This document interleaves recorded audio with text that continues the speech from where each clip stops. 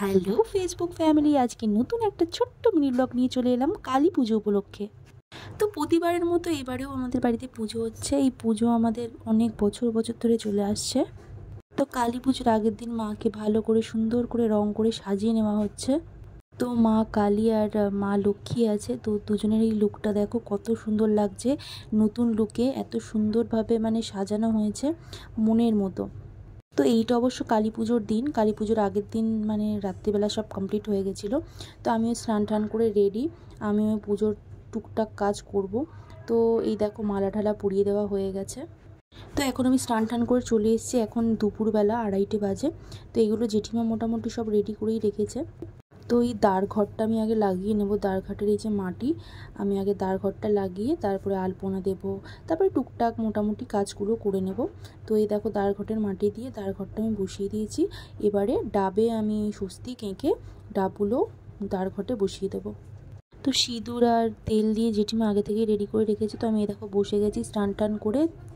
আমি শুধু দাঁড় ঘটের প্রিপারেশনটাই নিচ্ছি।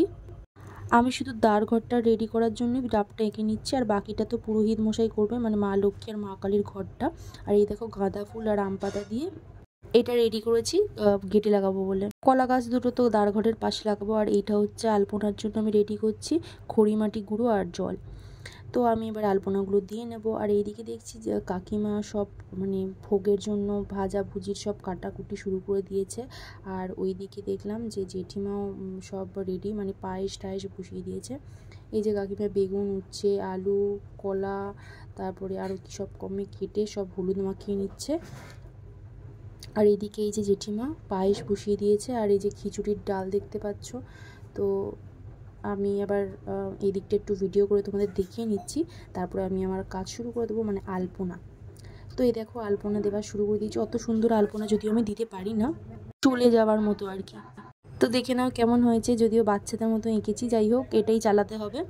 আর এইদিকে কাকিমণির সব সবজি কাটা হয়ে গেছে, লাল শাক কাটাটা বাকি ছিল, এটা কেটে নিচ্ছে। আর এইদিকে জেঠিমার পায়েসটাও রেডি আর এইদিকে খিচুড়ির আলুটাও ভাজা হয়ে গেছে, এবার ফুলকপি ভাজা হবে। এখন প্রায় সাড়ে তিনটে বাজে, আমার খিদে পেয়ে গেছে। আর সত্যি কথা বলতে আমি প্রত্যেক বছর নির্জলা উপোস করতাম। আমি জানতাম না যে নির্জলা উপোস করতে দিই। তাই এবারে আমি লাঞ্চ করেছিলাম। তো মা গরম গরম ফুলকপি লুচি আর গরম গরম নিরামিষ আলুর দম খেতে দিল, আমি খেয়ে নিলাম। খেয়ে একটু বিশ্রাম নিয়ে ঘুম থেকে উঠলাম পাঁচটার সময়। আর এই দেখো মায়ের শাড়ি, আমাকে বলল এটা পরতে।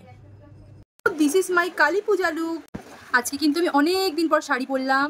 চুড়ি, কানের গলার, আজকে কালী পুজো উপলক্ষে আমি শাড়ি পরেছি। লাস্ট আমি শাড়ি পরেছিলাম দু হাজার তেইশের অষ্টমীর দিন। আমি শাড়ি পরতে একদম পারি না, তাই শাড়ি পরাও হয় না। সো এরপর আমি ফুল আনতে বেরিয়ে গেলাম। এই দেখো, কত সুন্দর হলুদ হলুদ গাঁদা ফুলের মালা, বেলপাতার মালা, জবা ফুলের মালা। তো এটা আলাদাভাবে নিচ্ছি আমি। আর এইদিকে ফলও নিয়ে নিচ্ছি পাঁচ রকমের আলাদাভাবে দেওয়ার জন্য। তো এই দেখো, নিয়ে আমি এবার বাড়ি ফিরছি। আর এইদিকে আমি মালাগুলো মা কালী, মা লক্ষ্মীকে পরিয়ে দেব। আর আমি আমার ভোলে বাবার জন্য দুখানা আকন্দের মালা নিয়েছি, একটা সাদা মালা আর একটা লাল মালা।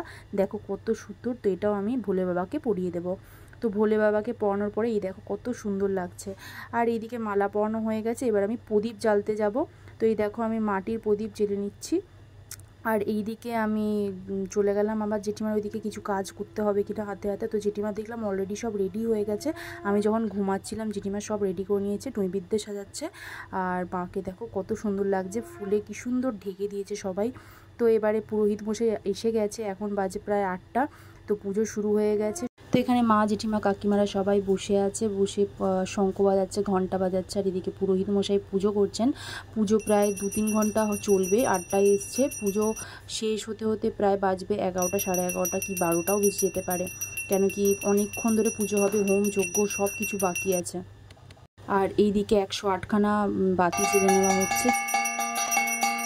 এখন রাত বারোটা বাজে, এখন যোগ্য হচ্ছে সবার শেষে। আমার পুজো তো খুব ভালো কেটেছে বন্ধুরা, তোমাদের কেমন কেটেছে অবশ্যই জানিও।